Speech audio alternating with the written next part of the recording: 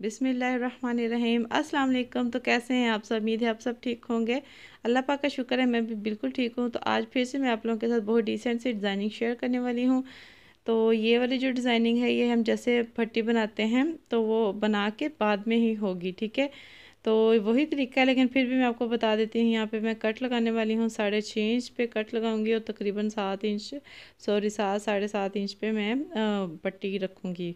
ठीक है, यानी कि ऊपर वाली जो फोल्ड करूँगी, यहाँ पे मैं बस सीज़र की मदद से कट लगा लूँगी और साढ़े छः इंच पे जहाँ पे ख़त्म होता है थोड़ा सा हमने टेढ़ा रख के यहाँ पे थोड़ा सा हमने करना है कट लगाना। अभी मैं आपको सीधा रख के दिखाती हूँ, ये देखें। जबकि कटिंग मैंने पहले कर ली थी कुर्ते की और पट्टियाँ भी मैंने तैयार कर ली हैं, लेकिन फिर भी मैं आप लोगों को एक दफ़ा दिखा देती हूँ कि कैसे की है। और ये देखिए, मैंने दोनों तरफ़ से थोड़ा थोड़ा फोल्ड किया हुआ है और इस तरह से फिर ये लगाने में बहुत आसानी होती है। और आज हमने लगाना है कट बैन और इन कट बैन की भी मैं अलग से वीडियो बनाऊँगी। यहाँ पर तो खैर मैंने नहीं दिखाया जस्ट मैंने ये पट्टी दिखाई है फट्टी बोलते हैं शायद इसको तो वही दिखाई है तो अलग से इसकी भी वीडियो बनाऊँगी तो ये मैं इस तरह से बनाती हूँ, इस तरह से थोड़ा सा कट लगा के, और फिर मैं ग्लू लगा देती हूँ, ग्लू से बहुत अच्छी तह बैठ जाती है, और सिलाई लगाने की ज़रूरत नहीं पड़ती, बस एक दफ़ा ही सिलाई लगती है तो फिनिशिंग बहुत अच्छी आती है ग्लू से, ठीक है?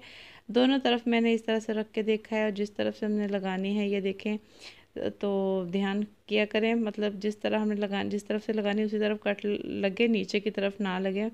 तो शुरू शुरू में जब मुझे नहीं आती थी तो मैं ऐसे ही करती थी, एक का मैं ऊपर से लगा लेती थी कट और दूसरी का नीचे। तो फिर दोबारा से मुझे अलग से पट्टी तैयार करनी पड़ती थी। तो इसलिए अब मैंने बहुत सारी जो निशानियाँ रखी हुई हैं बस इस तरह से ग्लू लगा लेनी है और अपने, हमने इसको क्या करना है, इसको सिंपली हमने जॉइंट कर देना है। अब मैं रख के देख रही हूँ कि बराबर है भी या नहीं।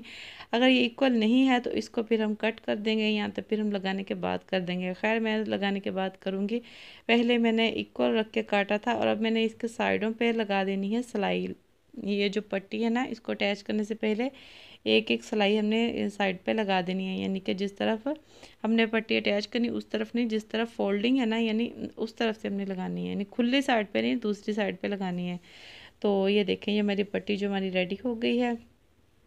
दोनों मैंने सिलाइयाँ लगा ली हैं। तो अब मैं दूसरी लगाऊँगी। तो ये देखें, मैंने थोड़ी सी बढ़ा के लगाई है क्योंकि मुझे थोड़ी ज़्यादा लग रही थी, कपड़ा इतना ज़्यादा सिलाई के अंदर नहीं आना, इसलिए मैंने थोड़ी सी बढ़ा दी और बाद में ये कट कर दूँगी। तो अच्छा जब ये पट्टी लगा लें तो ख्याल किया करें, ये देख लिया करें मतलब हमारी इक्वल ऊपर वाला जो हमने कट रखा है, वो इक्वल आ रहा है या नहीं आ रहा?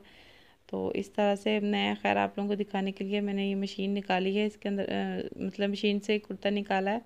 तो ये देखें जो क्रीज़ है ना सेंटर की क्रीज़ है गले की उस पर हमने सेंटर रख के हमने पट्टी बनानी है ठीक है? और यहाँ जो एक्स्ट्रा है वो मैंने काट दिया है और अब हमने इसकी डिज़ाइनिंग के लिए तैयार करना है सामान सामान जो होता है। और यहाँ पे मैंने दो इंच लंबाई ले ली है दो इंच लंबाई हाँ दो इंच लंबाई ले ली है तकरीबन एक से थोड़ी सी ज़्यादा मैंने चौड़ाई ली है। और इस तरह से हमने फोल्डिंग करते जाना है, इसको काट लेना है, जैसे मैं आपको दिखा रही हूँ। तो अब हमने इसके कोने से रख के इस तरह काटना है। ये देखिए, मैं इसको सीधा करके दिखाती हूँ। हाँ इस तरह से ये शेप हमने तैयार कर लेनी है। इसी शेप के हमने टोटल आठ बनाने हैं, चार हमने बड़े बनाने हैं और चार हमने छोटे बनाने हैं। तो उसके बाद यहाँ पे ये चकोर शेप में हमने दो कट करने हैं, ठीक है? बॉक्स दो बॉक्स बनाएँगे, ये भी सिंपली इस तरह से कट हो जाएँगे। ये देखें, दो, एक मैंने कर लिया और एक मैं आप लोगों के सामने कर रही हूँ। तो ये देखें, बस अब इसकी नोके मैं सही कर रही हूँ, नोके ठीक से निकल आएँ। इक्वल हो जाए तो ये देखें, ये बन के रेडी हो गया। ये दो ये रेडी हो गए हैं और उसके बाद ये चार बड़े वाले रेडी हो गए हैं और चार मैं छोटे बाद में रेडी करूँगी, ठीक है? तो सेम हमने चार जो छोटे हैं ना, इसी तरह से काटने हैं। बस थोड़ा सा साइज़ कम रखना है। और अब मैंने कपड़े पे लगा लिया है प्रेस के साथ चिपका लिया है। यहाँ पे मैंने वीडियो थोड़ी तेज़ कर दी थी। मैंने कहा, वीडियो छोटी बन जाए तो इस तरह से थोड़ा थोड़ा सा कपड़ा हमने काटना है और हमने ग्लू के साथ पहले इसको फोल्ड कर देना है। ठीक है? उसके बाद फिर हम आयरन लगाएँगे। फिर हम इसके, इसको मतलब कपड़े पे चिपकाएँगे। तो ये देखें, जो हम ग्लू के साथ करेंगे ना तो हमारी जो नोके शोके हैं, बड़ी अच्छी निकल आएँगी। और यहाँ पे ये देखें, मैंने उससे छोटे साइज़ का कट किया, ये मैंने वीडियो में रिकॉर्ड नहीं किया, ये वैसे काट लिया है क्योंकि मैंने पहले दिखा चुकी थी, मैं पहले दिखा चुकी थी। अच्छा तो यहाँ पे इतना हमने रखना है कि, इतना छोटा रखना है कि जब हम इसके ऊपर रख के लगाएँ तो इस, ऐसे लगे जैसे हमने पाइपिंग की हो। तो पाइपिंग भी कर सकते हैं मतलब जिसे मगज़ी कहते हैं। वो थोड़ा सा मुश्किल काम था, इसलिए वो मैंने नहीं दिखाया। वो भी इंशाल्लाह कभी वीडियो में दिखा दूँगी। ये थोड़ा ईजी मैं आप लोगों के साथ शेयर करना चाह रही थी। तो इस तरह से मैंने उसके ऊपर लगा के फिर सिलाई लगा ली है, ठीक है? जो हमने छोटा रख के लगाया था ना, इस तरह ऊपर रख के बिल्कुल सेंटर में रखना है ताकि साइडों पे चारों तरफ़ हमारा जो नीचे वाला कपड़ा नज़र आए, बिल्कुल ऐसा लगे कि जैसे हमने पाइपिंग की है। अब हमने कुर्त मैं कुर्ते पे रख रही हूँ, किस तरह से हमने इसकी सेटिंग करनी है, ठीक है? इस तरह से सेंटर में वो दो बॉक्स लगानी है और ऊपर नीचे जो हमने बनाया अच्छा यहाँ पे फिर मैं निशान लगा रही हूँ ताकि लगाने में आसानी हो और बिल्कुल हमने ये ख्याल रखना है, इसकी जो नोके हैं ना, सेंटर में आए। जैसे मतलब ऊपर वाले की नोक, नीचे वाले की सेंटर वाले की भी, फिर उससे नीचे वाले की नोक, इक्वल आए, एक ही लाइन में आए। तो ये, इस बात का ख्याल रखना है, ठीक है? आगे पीछे ना हो।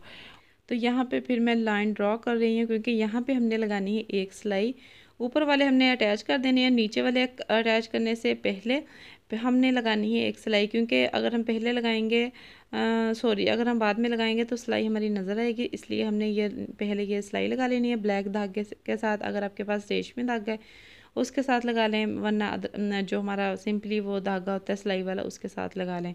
तो ये देखें, ऊपर वाले जो मैंने अटैच कर लिए हैं, अब दोबारा से मैं आपको दिखा रही हूँ, यहाँ पे फिर मैं लगाने लगी हूँ सिलाई, ये देखें मैंने सिलाई लगा ली है।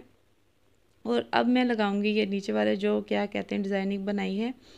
और ये बिल्कुल हमने सिलाई के सेंटर में रखनी है हमने इसकी नोकें और इस तरह से फिर हमने साइडों पे ब्लैक धागे के साथ सिलाई लगा देनी है। तो यहाँ पे ये देखें, जो कुर्ता हमारा बन के रेडी हो गया है बैन शैन मैंने लगा लिया था, हर चीज़ रेडी और इन अलग से वीडियो बनाऊँगी बैन के भी, हर चीज़ की वीडियो इन आस्ता आस्ता शेयर करती जाऊँगी। तो इसके लिए मेरे चैनल को सब्सक्राइब कर लें। और वीडियो पसंद आए तो काइंडली शेयर कर दिया करें और कमेंट छोड़ के जाया करें अब मेरे लिए। मेरी हौसला अफजाई होती है और बस चलती हूँ मैं। दुआ में मुझे याद रखना और मुझे लाजमी बताना है कि कैसा लगा डिज़ाइन और मेरे चैनल पे बहुत सारी ऐसी वीडियोस मौजूद है, आप लोग जाके देख सकते हैं। तो बस चलती हूँ मैं, इंशाल्लाह नेक्स्ट वीडियो में मिलूँगी। दुआ में मुझे याद रखना। अल्लाह हाफिज़।